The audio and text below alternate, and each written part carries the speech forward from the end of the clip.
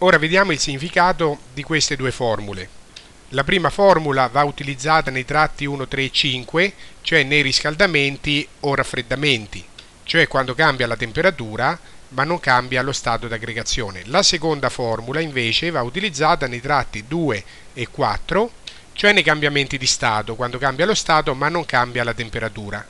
Cominciamo dalla prima formula che serve per calcolare il calore che è necessario fornire se noi immaginiamo di percorrere il grafico verso destra, quindi che è necessario fornire a una certa massa m di sostanza, per esempio 5 kg, per eh, aumentare la sua temperatura, per esempio di 20 gradi centigradi o anche 20 Kelvin che è la stessa cosa dal momento che le variazioni di temperatura sono identiche eh, se vengono espresse in gradi centigradi o in Kelvin. Quindi riassumendo, immaginiamo di avere 5 kg di una certa sostanza e di volerla riscaldare, cioè aumentare la sua temperatura di 20 gradi. E questa formula ci permette di calcolare quanto calore dobbiamo somministrarle. Dobbiamo conoscere il calore specifico eh, di questa sostanza il calore specifico è la quantità di calore che noi dobbiamo somministrare a un chilo, un chilo soltanto di quella sostanza per riscaldarla soltanto di un grado. Per esempio immaginiamo che quella sostanza sia il ferro.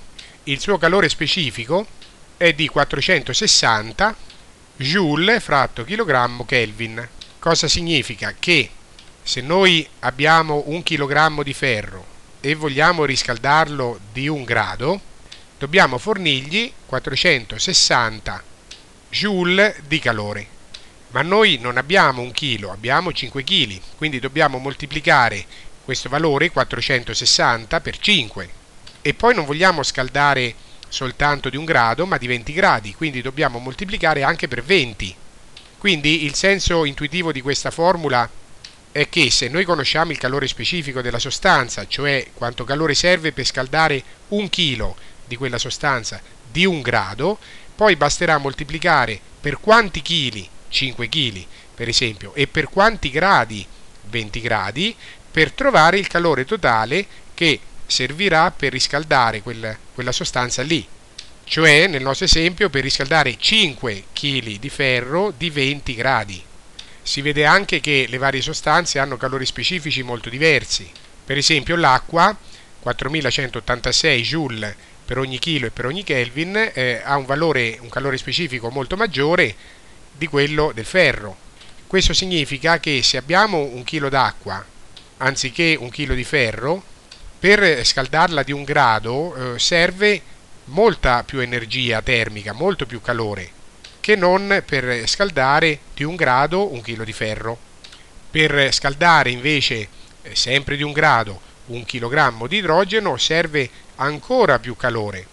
Al contrario, i metalli sono quelli che hanno i calori specifici eh, più bassi di solito.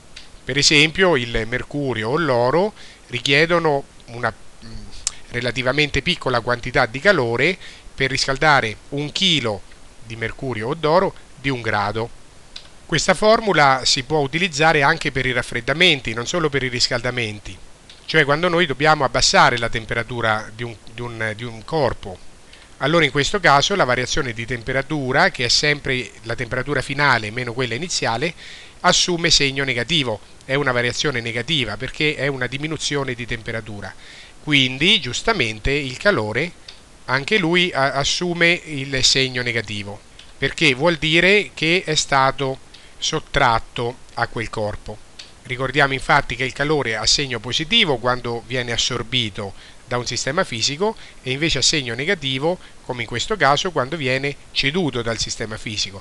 Eh, quindi il sistema fisico cede calore, calore negativo, e la sua temperatura si abbassa. Variazione di temperatura diventa negativa.